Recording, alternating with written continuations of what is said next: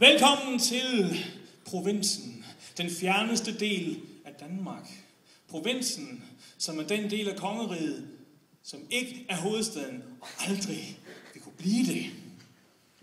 Danmark, det er Østerbro og Vesterbro og Nørrebro og Frederiksberg og Christiania og Kongens Nytorv og Stor Kannikestræde og Studiestræde og Hus i Magestræde og Østerfrej Magtsgade og længst væk, længst væk, der har vi Vestegnen, hvor de slås og bor i kedelige lejligheder. Men så er der også rigtig langt væk provinsen, bedre kendt som Jylland, hvor de taler jysk og drømmer om en dag at kunne flytte til Danmark. Provinsen, hvor de går rundt og siger ah til hinanden, hvor de stemmer på kristelig fremskridtsparti, fordi snart det eneste, der stadig er modstandere, er bort til bøsser. Jylland, provinsen, hvor de køber deres tøj i Føtex, så skovler det op på traileren, og så kører de hen over heden med deres trailer. Mens de lytter til Candice på det indbyggede surround-anlæg, og drømmer om, at det var asfalteret over det hele, så de nemmere kunne komme frem. Jylland, provinsen, der er så langt over til provinsen. Det kan tage et helt liv at nå derhen. Så hvorfor kommer I ikke bare over til os i Danmark?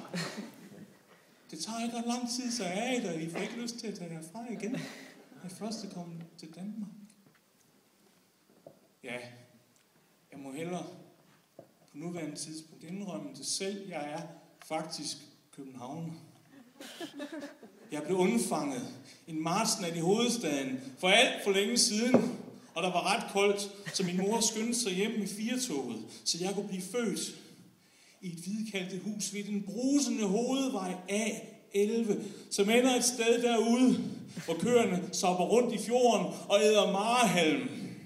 Derude, hvor en mand er en mand, og en gård er til salg.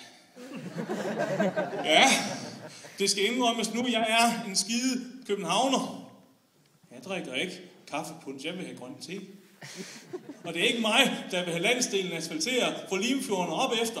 Min cykel skal ikke ud på nogen motorvej. Og det er heller ikke mig, der kunstigt holder liv i Line Espersens politiske karriere og forhindrer hende i at vende tilbage til den grillbar i Hirtals, hvor det hele jo begyndte, og hvor hun faktisk gjorde det så godt. Nej, her er en skide københavner. Men jeg har tale fra en lige behold. Og når jeg ser Danmark, så ser jeg Skagen og Frederikshavn og Hirtshals og Aalbækbugten, ja, sådan skal det faktisk udtales, og Brønderslev og Østerbrønderslev og Hallund og Bælum og Hals og Ense og Åbibro og Birkelse og Halremne, og Hans Minde og Fjerdslev og Tranum og Hjortdal og Hobro, og længst væk har jeg hørt, der er et sted, som de kalder for København.